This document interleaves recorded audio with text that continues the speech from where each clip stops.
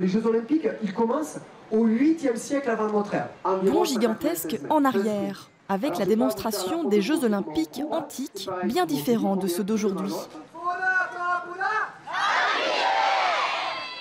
Dans un stade improvisé de 20 mètres de large sur 200 mètres de long, la démonstration du pentathlon, 5 épreuves, ça commence par la course avec une technique de l'époque bien particulière. Et moi je mets mon bras. Et lui il essaie de me doubler par l'intérieur. Alors hop, je mets mon bras aussi. Et je contourne.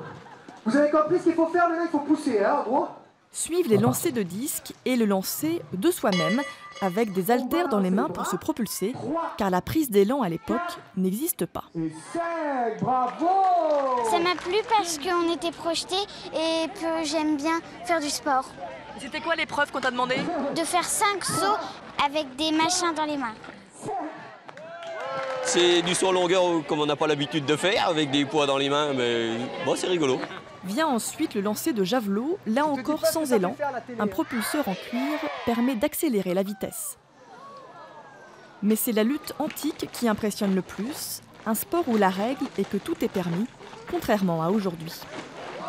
Tout ce que je peux saisir, je vais le saisir. Là, là, là, là et là. C'était plus. euh, on faisait un peu la guerre.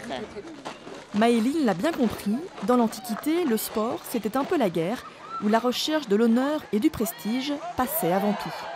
L'athlète est vraiment mis en avant, euh, des fois à l'instar d'un dieu. Il va défendre sa cité, enfin, il y a une question d'honneur. Il ne va pas gagner un énorme prix, il va gagner un petit peu d'huile, une couronne.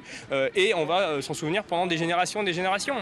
Le pentathlon antique n'existe plus, remplacé par le pentathlon moderne, une épreuve à découvrir cette fois aux vrais Jeux olympiques, en ce moment au Brésil.